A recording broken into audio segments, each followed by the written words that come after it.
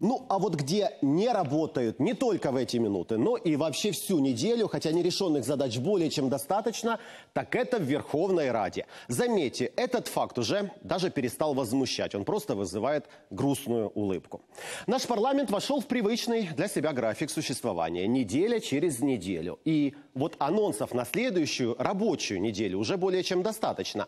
Главное, это, конечно же, пенсионная реформа. Сроки ведь поджимают – с 1 октября, то есть ровно через две недели, украинцы должны получать уже повышенные пенсии. Причем это должно коснуться как минимум половины из 12 миллионов украинских пенсионеров.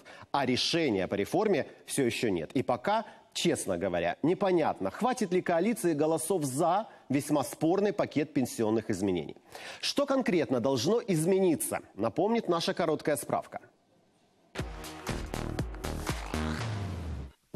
Пенсионная реформа уже на обозримом горизонте. С двумя тысячами правок документ опять направили в парламент для окончательного депутатского вердикта. В сессионном зале реформу обещают явить до конца сентября. Итак, каких новшеств ждать украинцам, работающим и уже нет? Как и обещали, пенсионный возраст как бы поднимать не будут, но при этом увеличат стаж. Минимальный страховой пока 15 лет, но постепенно на протяжении 10 лет его будут будут повышать до 25. Именно от него и будет зависеть возраст, с которого человек сможет выйти на заслуженный отдых. Минимальный страховой стаж дает право выйти на пенсию в 65. А чтобы покинуть работу в 60, как сейчас, нужно иметь за плечами 35 лет стажа. Те же, кто не работал вообще, могут рассчитывать только на социальную пенсию или же купить недостающий стаж.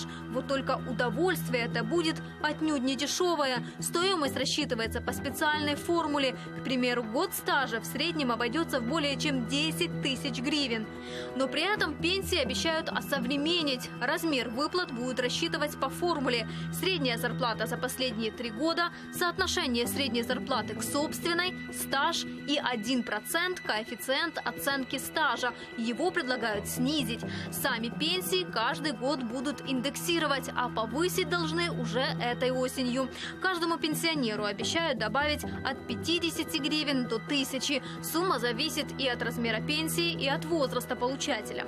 Должны поднять и минимальную пенсию до 1373 3 гривен, но это все равно меньше прожиточного минимума, хотя именно минималку получает большинство украинских пенсионеров.